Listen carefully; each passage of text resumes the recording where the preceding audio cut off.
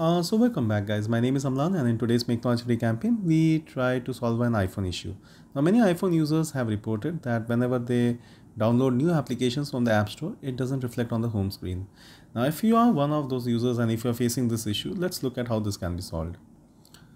Now on iPhone, you need to tap on settings. Inside settings, scroll down until you see home screen.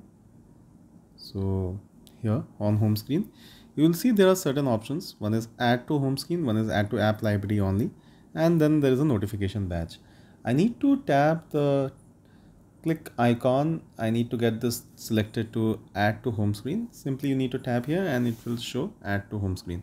Now what this means is like anytime you download a new application, it will get reflected on the home screen of your iPhone which means that now you will be able to see the applications on the home screen whenever you download them from the app store so that's all there is to it just repeat the steps like I went to settings inside settings I scroll down until I saw home screen inside home screen I simply need to check whether the new applications are selected for being added to home screen or not in case they aren't I simply need to tap here so that they reflect on home screen now guys, if you find today's tutorial helpful, kindly consider subscribing. Please do like, subscribe and share as well.